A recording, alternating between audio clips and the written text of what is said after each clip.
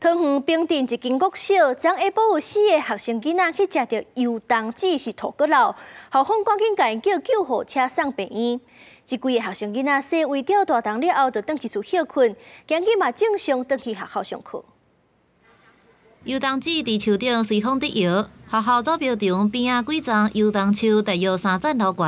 初五下晡，桃园市平镇区某一间国小有四个六年的学生伫学校无细机食到油桐花籽了后中毒，送病院加在洗胃了后无问题，隔顿工也转来学校正常上课。它很像坚果，所以我们就想说吃一口看看，结果呃肚子有点。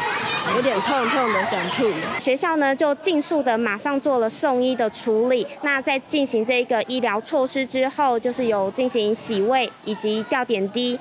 那所幸最后小朋友都能平安无事。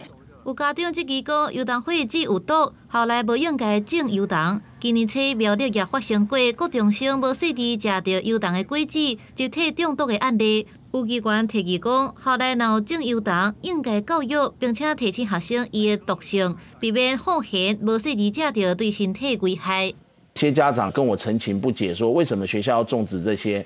呃，建议学校不妨在油桐树和油桐花籽的这个果实结籽的这个树前哦，可以立下一些警语告示牌。无细致食到油桐籽的代志发生了后，学校需重新伫树骹做一个告示牌，加强警惕。学校表示，油桐树种这一年第一届发生即种意外，会较细致地强化教育来宣导。教育局是请各学校加强学生对大自然、校园环境的正确知识，避免类似的情形搁再发生。记者综合报道。